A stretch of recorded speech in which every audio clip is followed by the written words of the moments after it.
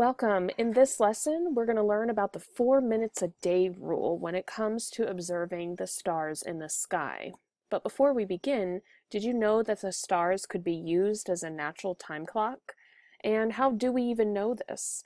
Well, for thousands of years, the stars have been observed and recorded, and there are certain patterns that we have noticed over time. So, for example, we can always tell in advance exactly where a star is going to be. We can pick any time during the day and any day during the month and predict exactly where that star will rise and when it will set. And these stars have very predictable pasts, and their pasts have been recorded since the beginning of human civilization. So today we mostly rely on technology such as our cell phones and um, electric clocks to tell us the time, but we were, if we were ever to lose this type of technology, we can just use the stars as a way to tell time. So let's go ahead and review the four minutes a day rule when it comes to stars. Every star rises and sets about four minutes earlier than it did the day before. There's only one exception to this rule, and that would be Polaris, the North Star, because that star never sets. It stays stationary all the year round. So why does this even matter? Because each day, those four minutes are going to start to add up. So after a week, the stars will set 28 minutes earlier than they did the week before. After two weeks, 56 minutes earlier. And then after a whole month, it's nearly two hours in which the stars will set earlier. So each month, the stars rise and set two hours earlier than they did the month before. Let's take a look at the pattern of the stars rising two hours earlier than it did the night before.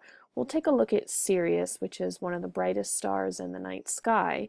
And if you can find Orion, you can use the belt stars right here to aim right down to Sirius. Sirius is a very close star. It's about eight light years away, and it's located in the constellation called Canis Major. It may not look very bright here, but that because may be because of the light coming off civilization. So if we look at the different patterns that we see, we know that on January 1st, Sirius rises at 7 p.m. and then sets at 3 a.m. February 1st, it rises at 5 p.m., sets at 1 a.m. March 1st, rises at 3 p.m., sets at 11 p.m. So you can start to see how there is a two hour difference between every month as we go here. So why do we have this four minutes a day rule when it comes to viewing the stars?